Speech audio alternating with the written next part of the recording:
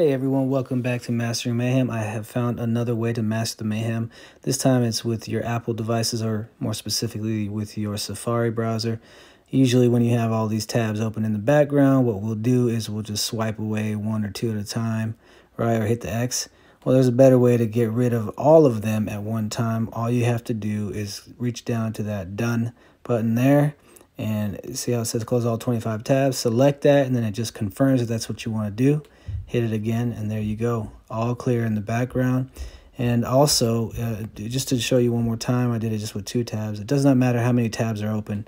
It'll clear them all. So it's a nice feature. If you found this video useful, please like and comment and leave any uh, tips that you may know of.